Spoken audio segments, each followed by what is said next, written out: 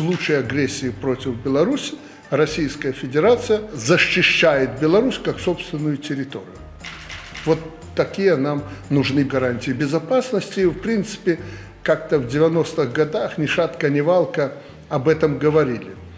Сейчас в связи с поступками и тенденциями на Западе это обо всем этом забыли.